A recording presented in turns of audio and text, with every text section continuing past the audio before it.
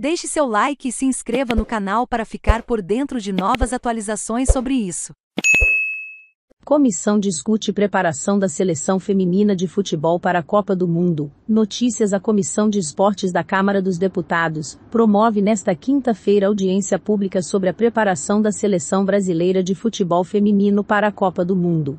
A Copa do Mundo começa em julho e será disputada na Austrália e na Nova Zelândia. O debate é uma iniciativa da deputada Flávia Moraes. Ele destaca o crescimento da modalidade no Brasil e em outros países. A Copa do Mundo acontecerá entre os dias 20 de julho e 20 de agosto. Diz. A Copa do Mundo foi criada em 1991 e desde então é realizada a cada quatro anos. Diretora de Políticas de Futebol e Promoção do Futebol Feminino Sandra Maria dos Santos Veja, a lista completa de convidados. A sessão acontecerá na plenária 4, às 10 horas a duplicação. A mensagem é autorizada, desde que ostente a assinatura Agência Câmara Notícias.